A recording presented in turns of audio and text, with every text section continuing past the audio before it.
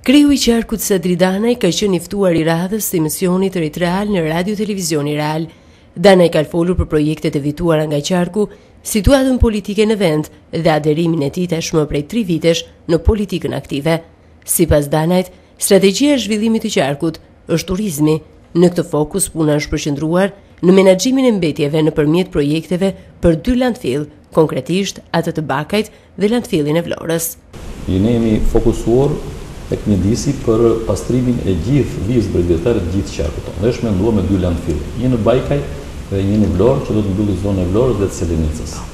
Kështu që unë Që ditën e parë që kam marrë në qëndrim në dy mijë e katërmbëdhjetë, ishim në takimet që bënte KfW-ja, Banka Gjermane për Zhvillim, me disa grupe që kishin fituar atë projektin për fizibilitetin, pra për studimin dhe për projektimin e një landfilli në gjithë këtë zonë. Dhe nga shumë propozime që erdhën, u vendos i plotësonte kushtet pika që ishte në Sherishtë. Kështu që atje u punu, atje u bë projekti dhe atje po avancohet. Duke parë eksperiencën, problematikën që ishte krijuar për menaxhimin e landfillit Bajkaj që ka filluar që në vitin dy mijë e gjashtë, por pas shumë negocimesh ata nuk arrinin të krijonin një ndërmarrje të përbashkët për të menaxhuar landfillin e Bajkave, ne ndërhymë edhe në rolin që kishte qarku atëherë,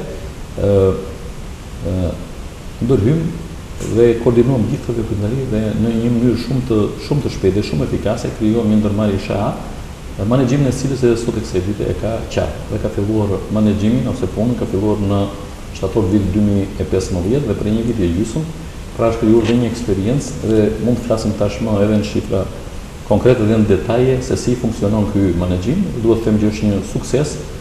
Zoti Danaj ka sqaruar gjithashtu edhe debatin e fundit në Këshillin Bashkiak me kreun e Bashkisë së Vlorës, Dritan Leli, Lidhur me parkimet me pagesë. Në këshillin e bashkisë unë kam përfaqësi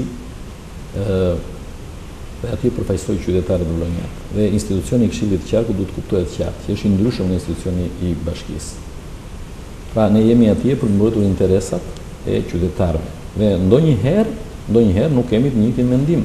me me me me me bashkinë si institucion apo me stafin e tyre për disa Mos më thoni që bashkia nuk ka për detyrë të mbrojë qytetarët, jo. Jo se nuk ka detyrë të mbrojë qytetarët, nuk duhet të them këtë gjë, por ë si ta kuptojmë ne kush është interesi më i madh i qytetarëve? Vetëm debati, idetë e përcaktojnë atë atë atë po themi prioritetin që do të jetë në moment në në kohë. Sepse këtu mund të ketë një mori problemesh, një mori prioritetesh. Problemi qëndron që në një moment të caktuar kush është prioriteti kryesor dhe atëherë ne si përfaqësues të qytetarëve duhet të biem prioritetet, nevojat që janë më imediate edhe që herë pas here qytetarët na kërkojnë ne si përfaqësues të tyre dhe ne përballemi me institucionin e Këshillit të Bashkisë. Një nga debatet e fundit ka qenë për parkimet në qytetin e Vlorës, po, sepse dhe unë e ngrita sepse ne institucionet, mendimi im për sa kohë kam, Nuk duhet që të qajmë, po duhet që të zgjidhim.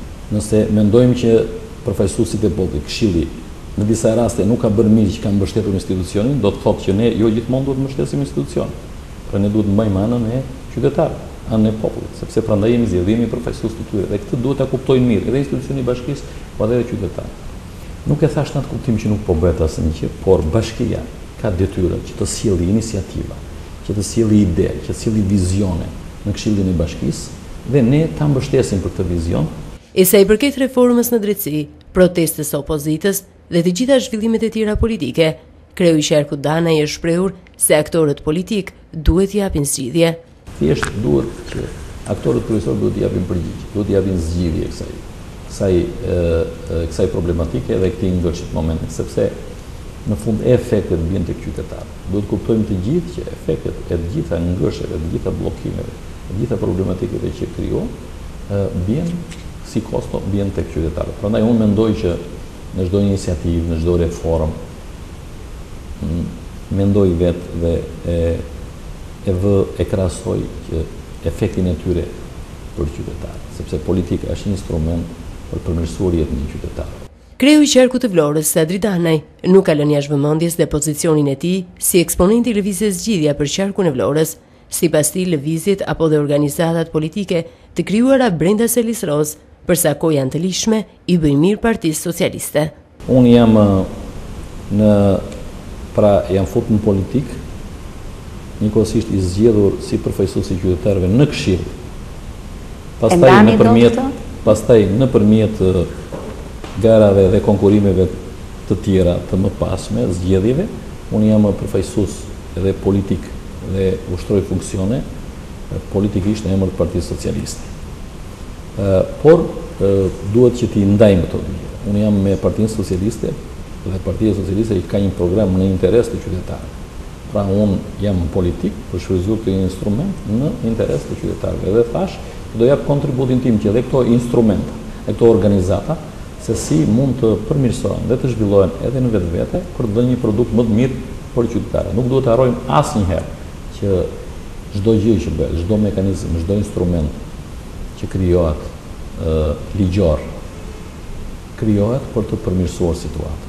Dhe si mundemi ne që këto mekanizma t'i përmirësojmë me avancimin e kohës, të teknologjisë, të zhvillimeve të ndryshme, për të mos mbetur të tilla statike që në një moment të caktuar, jo vetëm që nuk bëjnë zhvillimin, po bëjnë frenimin e tyre. Dhe unë mendoj që edhe organizatat politike dhe partitë dhe kryesisht Partia Socialiste, ka nevojë për një vizion dhe për një mendim më të ri për t'iu përgjigjur gjithë këtyre zhvillimeve.